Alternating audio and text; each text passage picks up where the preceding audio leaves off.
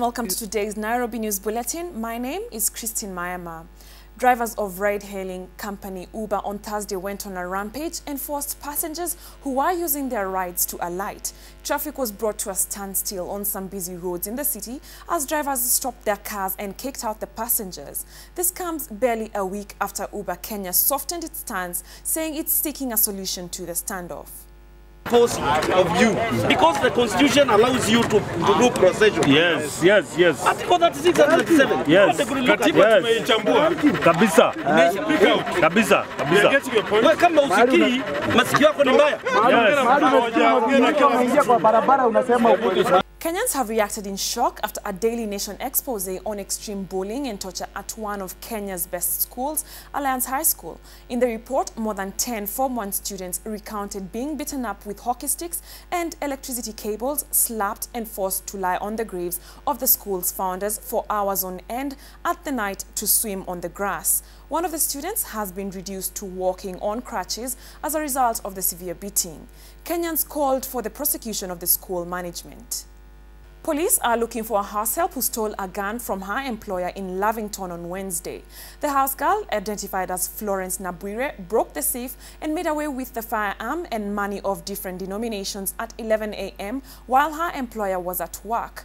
Police say she has escaped in the company of an unknown number of people in a yellow vehicle. Kenyan teenage footballer Joshua Otieno could be on the verge of a dream move to the English Premier League a day after he was taken in for trial at Hull City Academy. The 16-year-old Kakamega High School student was part of the SportPesa All-Stars squad that recently toured England and lost 2-1 in a friendly match against the English club's development side. If accepted, Otieno could earn as much as 700,000 shillings a week.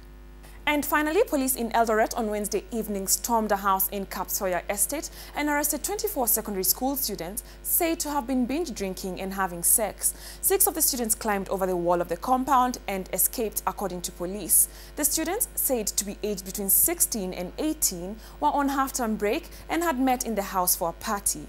They belong to different schools in Uasin Gishu County. Hii mabaya tunasamia inabeba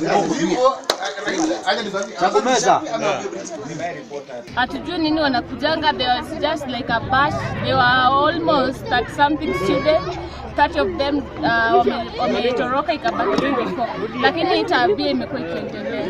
Ni mambo gani wao hufanya? Mnashuku wanafanya nini? kwa sababu pia wanasema kuna matres huko condoms condoms zilipatikana Ina- inasemekana kwamba amekuwa akifanya And that's it for us from now. For these and more stories, log on to www.nairobinews.co.ke. I am Christine Mama. Goodbye.